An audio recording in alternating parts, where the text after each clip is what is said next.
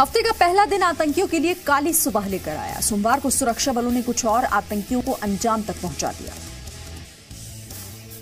जम्मू कश्मीर के बड़गाम में आतंकियों के साथ एनकाउंटर में सुरक्षा बलों ने तीन आतंकियों को मार गिराया। एनकाउंटर के दौरान स्थानीय लोगों ने सुरक्षा बलों पर पत्थरबाजी भी की। चरारे शरीफ के जीन पांचाल में सुरक्षा बलों ने मुठभेड़ के बाद आतंकियों को मार गिराया। आतंकियों के खिलाफ सर्च ऑपरेशन में तिरपन राष्ट्रीय राइफल्स, बड़गाम पुलिस और सीआरपीएफ के जवान शामिल थे।